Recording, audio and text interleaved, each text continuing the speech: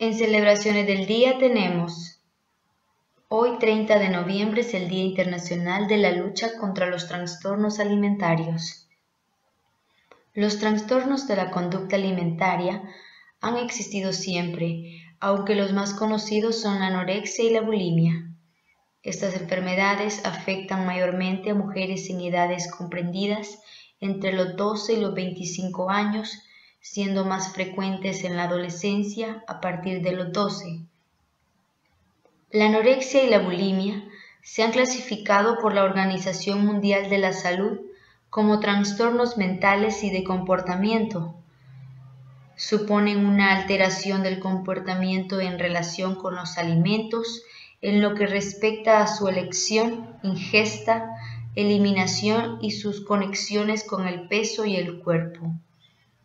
La anorexia se caracteriza por un miedo intenso a engordar o un fuerte deseo de bajar de peso.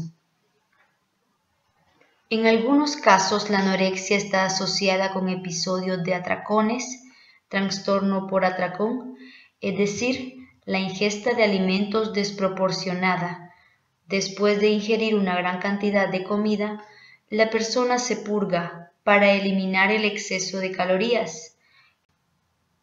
Las formas de realizar este tipo de purgas varían desde vómitos al uso de laxantes, pasando por los diuréticos.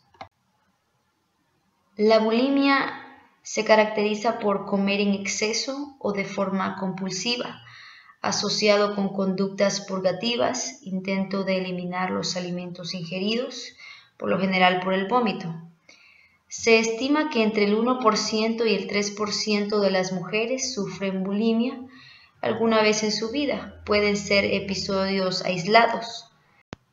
Algunos de sus rasgos son episodios recurrentes de hiperfagia, tragar grandes cantidades de comida en poco tiempo con la sensación de perder el control, episodios recurrentes compensatorios destinadas a prevenir el aumento de peso, ya sea purga o la mayoría de las veces los bulímicos son personas con peso normal.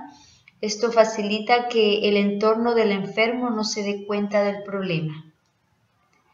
Este fue el evento del día.